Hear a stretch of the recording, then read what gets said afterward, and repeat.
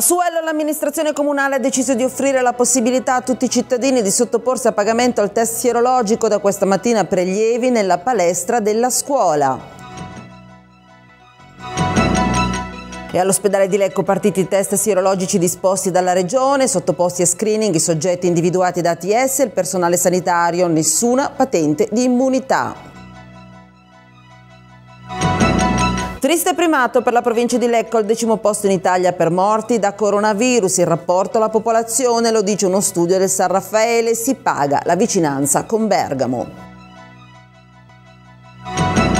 Lecco si prepara alla fase 2, i sindaci della provincia hanno deciso di riaprire dal 4 maggio cimiteri, mercati alimentari e le casette dell'acqua, vietati gli assembramenti.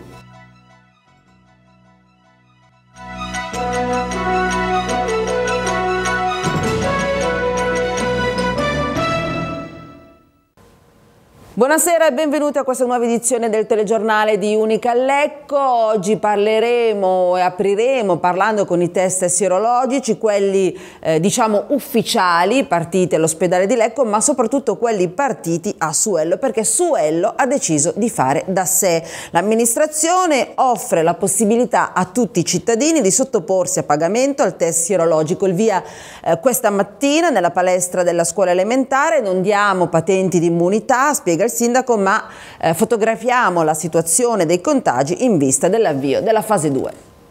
45 euro, un piccolo prelievo di sangue, i risultati comunicati via mail dopo tre giorni. Suello ha avviato i suoi test sierologici. Nonostante i dubbi di ATS, l'amministrazione ha voluto procedere in autonomia, offrendo la possibilità a tutti i propri cittadini di verificare se siano venuti a contatto con il coronavirus, sviluppando gli anticorpi. Più di un terzo degli abitanti del paese ha deciso di effettuare il test, ma anche grandi aziende del circondario hanno chiesto di poter sottoporre alla prova i propri dipendenti. Il test che eseguiamo è uno dei quattro test individuati dal Ministero della Salute come test affidabili, hanno una sensibilità del 95,6% e una specificità del 96%. In pratica i pazienti vengono sottoposti ad un prelievo di sangue venoso, una provetta normalissima da siero e nell'arco di 3-4 giorni viene sviluppato il test che è quantitativo, quindi viene dosata la quantità di anticorpi presenti, IgM e IgG. Sento molto parlare di patenti di immunità. Io non credo che esista in questo momento nessun esame che possa dare una patente di immunità. Eh, si fotografa lo stato di salute attuale delle persone, si può capire quali persone sono entrate in contatto col virus e hanno quindi sviluppato una risposta anticorpale, si può stabilire chi non è mai entrato in contatto col virus o quantomeno non si è contagiato, quindi il virus non è riuscito a penetrare la cellula, oppure se qualcuno, ma questo è un riscontro accidentale, ha ancora le IgM elevate che sono quelle che segnalano un'infezione in corso. In tutti e due i casi sarebbe consigliabile l'esecuzione di un tampone per confermare la mancanza di contagiosità, che è l'unica cosa che in questo momento il tampone può confermare. La popolazione ha risposto in modo massiccio, abbiamo 650 adesioni, oggi soddisfiamo 300 persone che sono in procinto di andare al lavoro e questo per me è importante. Non c'è, come ha detto il dottore, una patente di immunità però perlomeno veniamo a capire la portata del fenomeno che ha interessato il Paese. Ecco. Abbiamo 33 casi di positività in Paese su 1700 abitanti, questo servirà a capire cosa è successo veramente in Paese. Tra i cittadini che hanno deciso di sottoporsi al test c'è chi ha avuto sintomi sospetti oppure chi teme di essere asintomatico e poter contagiare parenti e colleghi. Molte persone come me sono sicure di aver avuto dei sintomi che si avvicinano ai sintomi tipici del Covid, ma eh, non sono stati né messi in quarantena né sono stati contattati da nessun ente sanitario per verificare questo. Ho deciso di fare il test più che altro per i miei colleghi, no? essendo stato un paese abbastanza infetto, spero di non avercelo tuttora. Eh, da oggi invece negli ospedali lecchesi sono partiti i test sierologici, quelli disposti da Regione Lombardia, diciamo quelli ufficiali, eseguiti 300 esami al giorno, eh, sottoposti a screening i soggetti individuati da ATS e, e tutto il personale medico. I positivi saranno sottoposti poi in seguito a tampone. Attenzione però, troppo presto per parlare di, eh, appunto, di patente, di immunità, avvisano eh, gli specialisti. Al via da oggi eh, negli ospedali di Lecco, Merate e Bellano i test sierologici disposti da Regione Lombardia tramite ATS. Siamo in collegamento con il direttore sociosanitario dell'azienda ospedaliera di Lecco Enrico Frisone e con il direttore del laboratorio di analisi Claudio Bonato. Eh, intanto avete iniziato oggi nei tre presidi, eh, chi è chiamato a eseguire questo screening? Sono una fascia di popolazione individuata dall'ATS eh, che viene segnalata a noi e eh, in coda, avendo a disposizione una, una dotazione di eh, reagenti eh, molto cospicua, anche eh, cominciamo con i nostri dipendenti che eh, risultano eh, non essere stati eh, affetti dalla patologia, dal Covid-19 e quindi non ancora tamponati con tampone positivo e che quindi eh, vole, volontariamente e quindi possono eh, aderire a questa campagna di screening con i possibili eh, risvolti. Circa 300 al giorno. Sì, più o meno 300 al giorno insieme tra i dipendenti e eh, quelli segnalati da ATS. Prelievo del sangue, test certificato da Regione Lombardia. È un test che è stato certificato da Regione Lombardia ed è stato validato nei laboratori di, del San Matteo di Pavia, dell'Università di Pavia. È un test molto specifico, è stato ingegnerizzato appositamente per rilevare quelli che sono gli anticorpi che sono rivolti verso quelle parti che, del virus che si attaccano alle cellule del nostro organismo e questi anticorpi dovrebbero essere quelli che meglio ci tutelano da una possibile infezione. Entro quanto tempo si ha la risposta e soprattutto se si risulta positivi, poi bisogna fare il tampone?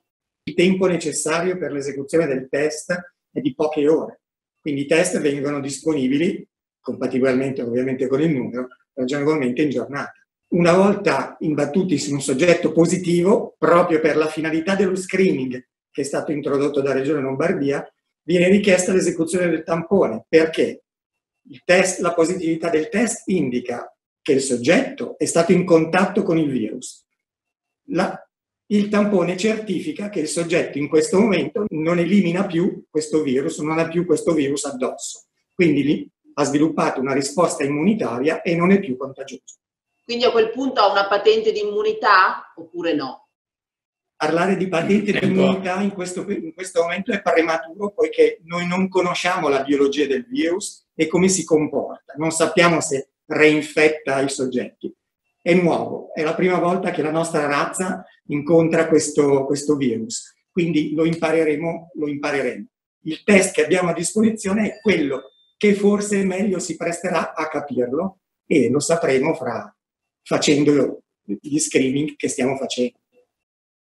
Triste primato per la provincia di Lecco, al decimo posto in Italia per morti di Covid in rapporto al numero di abitanti e quanto emerge da uno studio realizzato dall'Università San Raffaele di Milano, pagato lo scotto della vicinanza con Bergamo, ora nella fase 2 importante isolare i microfocolai con teste tamponi, dice il professor Carlo Signorelli. La provincia di Lecco al decimo posto in Italia per quanto riguarda il tasso di mortalità per Covid-19, 105 vittime ogni 100.000 abitanti in base alla ricerca dell'Università Vita Salute San Raffaele di Milano, condotta dal docente di igiene Carlo Signorelli. Prima di noi Piacenza, Bergamo, Lodi e Cremona, con un dato che è più del doppio di quello lecchese, a seguire Brescia, Pavia, Parma, Mantova e Alessandria. Nell'ambito di una ricerca finanziata dalla Commissione europea sull'epidemiologia del Covid-19 eh, stiamo facendo dei rilievi e eh, ultimamente abbiamo voluto esaminare i dati di mortalità per Covid riferita alle province di alcune regioni del nord Italia, le più colpite. Nel eh, grafico che spero tutti voi possiate vedere, si nota che le quattro province con la maggior mortalità aggiornata al 17 aprile sono nell'ordine eh, Piacenza, eh, Bergamo, Lodi e Cremona. Eh, a ruota vanno alcune com- province confinanti che eh, riguardano sia la Lombardia che l'Emilia-Romagna che il Piemonte con la provincia di Alessandria. Questo cosa significa? Significa che la diffusione dell'epidemia che è iniziata nel focolaio di, in provincia di Lodi di Casal Pusserlego ha seguito e si è diffusa attraverso due direttive. Una direttiva nord verso Bergamo, Brescia e in parte Lecco che è stata interessata eh, eh, in misura maggiore rispetto alla media provinciale e una direttiva eh, sud che ha investito lungo quella che abbiamo detto è la 21, cioè l'autostrada eh, eh, Brescia-Cremona, le province di Cremona naturalmente, di Piacenza, di Pavia e eh, di Alessandria. Significa che eh, la dinamica di diffusione dell'epidemia ha seguito le principali vie di interscambio commerciale e viabilistico. E purtroppo eh, chi era più vicino ai focolai o più connesso con i, foco- i primi focolai epidemici ne ha risentito di più. Signorelli non ha dubbi, la fase 2 non è più rimandabile, ma bisognerà convivere con il virus in attesa del vaccino e di cure efficaci. La fase 2 sarà una fase molto diversa perché non ci sarà più bisogno, se tutto va come noi speriamo, di molti letti in ospedale. Qualcuno si ammalerà ancora e verrà curato al meglio, ma non sarà una fase di ricovero ospedaliero. Sarà invece una fase dove è molto importante sul territorio avere la segnalazione di mini focolai e quindi eh, eh, sapere dove sono ubicati i casi e dove potrebbero riaccendersi costituisce un aspetto particolarmente importante. Dopo questa analisi provinciale, la nostra idea è che si debbano fare delle analisi più dettagliate, cioè entrare nella provincia e andare a vedere se singoli comuni o aggregazioni di comuni, eh, eh, per esempio i distretti sociosanitari, hanno dei fecolai, perché lì dovrà essere fatto un lavoro capillare di eh, eh sorveglianza epidemiologica e anche di tamponi laddove serve, proprio per identificare l'eventuale focolaio, evitare che si diffonda ed evitare quella seconda curva epidemica che rappresenta oggi la minaccia più grossa che questa epidemia pone. L'Ecco si prepara alla fase 2. I sindaci della provincia di comune accordo hanno deciso di riaprire dal 4 maggio i cimiteri, i mercati alimentari e le casette dell'acqua. Ai cittadini la raccomandazione usate le mascherine ed evitate assembramenti. Il territorio lecchese si prepara alla fase 2 e, in un quadro ancora denso di incertezze, fissa alcuni paletti. Da lunedì 4 maggio saranno riaperti i cimiteri, i mercati alimentari e le casette dell'acqua in tutti i comuni. Ad annunciarlo il presidente della provincia Claudio Usuelli e il sindaco del capoluogo Virginio Brivio, dopo essersi confrontati con la prefettura e i sindaci del territorio. Resta però la raccomandazione di indossare le mascherine, mantenere le distanze ed evitare qualsiasi tipo di assembramento. Ulteriori misure potranno essere adottate dai singoli comuni, sempre nell'ambito delle disposizioni nazionali e regionali, per garantire meglio il rispetto delle norme di sicurezza, con eventuali modalità di ingresso e gestione degli spazi aperti. Alla luce dell'ultimo decreto del Presidente del Consiglio dei Ministri, insieme ai sindaci del territorio, abbiamo voluto adottare una linea unitaria, proseguendo nello spirito di condivisione e collaborazione che ha caratterizzato questo periodo, al di là delle diversità di vedute e di appartenenza, spiegano Usuelli e Brivio. Durante tutta la fase di emergenza i sindaci hanno dato prova di intelligenza e dimostrato grande senso civico, lavorando tutti insieme per il bene dei cittadini e senza protagonismi. Anche la nostra provincia è stata duramente colpita dal coronavirus, ma i sindaci hanno saputo mantenere la calma e infondere sicurezza nei loro cittadini. Questa sinergia ha coinvolto anche la Prefettura di Lecco, le forze dell'ordine e gli organismi sanitari preposti, ATS e ASST, con i quali ci siamo spesso confrontati. Di fronte alle graduali aperture dei prossimi giorni, ai cittadini, che in questo periodo di grave emergenza hanno dimostrato grande senso di responsabilità, concludono il Presidente della provincia e il Sindaco di Lecco, chiediamo ancora lo sforzo di adottare tutti i comportamenti necessari per contenere il contagio e mantenere alta la guardia per non vanificare gli enormi sacrifici fatti nelle settimane precedenti. Lasciamo il capitolo coronavirus, quattro passi nel verde, un tempo era la normalità, oggi un sogno per celebrare e ricordare la bellezza delle aree protette del Lecchese, Parco Montebarro e Parco del Curone hanno lanciato due concorsi fotografici, sentiamo. Quattro passi nel verde. A primavera mai come ora ne avremmo bisogno, ma le restrizioni per contenere la diffusione del coronavirus ce lo impediscono. Un vero peccato perché in provincia di Lecco le attrattive non mancano e così non resta che consolarsi con i ricordi. Il Parco Montebarro ha lanciato a questo proposito un concorso fotografico invitando tutti a donare le immagini della montagna scattate prima dell'epidemia coronavirus. In questi giorni di inattività forzata, spiega Lente, tutti noi stiamo riscoprendo modi di stare insieme a casa, magari sistemando i nostri ricordi. Il consorzio vuole offrire a tutti la possibilità di rispolverare le immagini del Montebarro raccolte negli anni e magari mai valorizzate. Ecco allora l'idea di un concorso aperto a tutti. L'invito è di inviare via mail le fotografie ritrovate della montagna. Il concorso vedrà da una parte la pubblicazione ogni mese delle foto ricevute sulle pagine social dell'ente e dall'altra l'organizzazione di una mostra nella sede del parco stesso al termine del periodo di distanziamento sociale. Una giuria poi sceglierà le foto ritenute migliori che verranno utilizzate per realizzare l'edizione 2021 del tradizionale calendario del parco. Un'iniziativa simile è stata promossa anche dal Parco del Curone di Montevecchia. Sul sito dell'ente è possibile vedere le foto di animali e di paesaggi dell'area di tutela Brianzola che sono state inviate da appassionati escursionisti di ogni età. Dovendo stare forzatamente a casa, non resta dunque che consolarsi guardando le bellezze della natura di casa nostra, troppo spesso trascurate o peggio dimenticate in passato.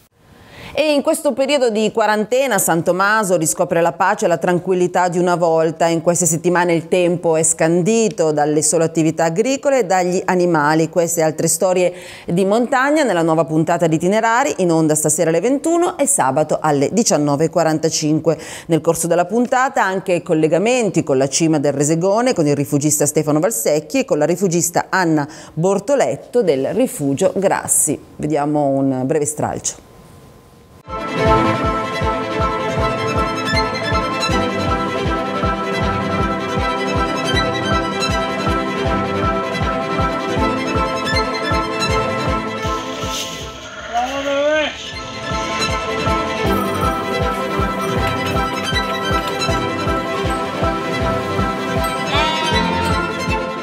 C'è un luogo sopra Valmadrera, a meno di un'ora di cammino dalla città, che si chiama San Tomaso. Un esteso pianoro erboso a circa 600 metri di altezza, solitamente molto frequentato e a volte forse un po' chiassoso. Oggi appare diverso, solitario e silenzioso, restituito appieno a quella sua dimensione rurale che molti avevano dimenticato. E questo è San Tommaso, è, una, è ancora una piccola realtà agricola da, da generazioni, da sempre c'è qua due famiglie con animali, io faccio turismo, vivo di quello. Adesso siamo fermi, facciamo solo, solo azienda agricola.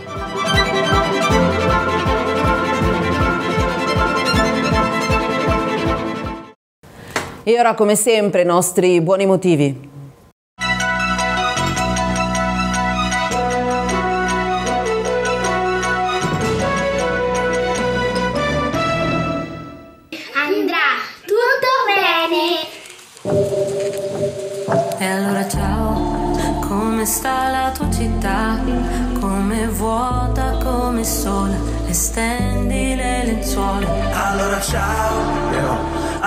È già più pulito e trasparente, si vede oltre le stelle. Ritornerà l'abbraccio tra la gente, il sole sulla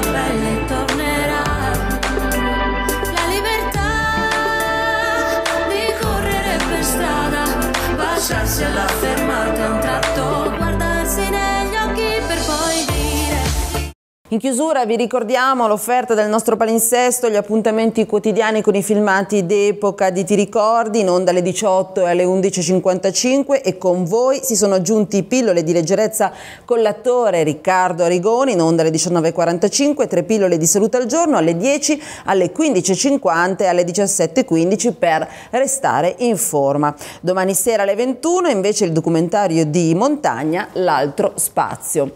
Eh, grazie per averci seguito, continuate a farlo anche sui social, su Facebook, su Twitter, su YouTube, sul nostro sito www.teleunica.tv. Vi auguro un buon proseguimento di serata.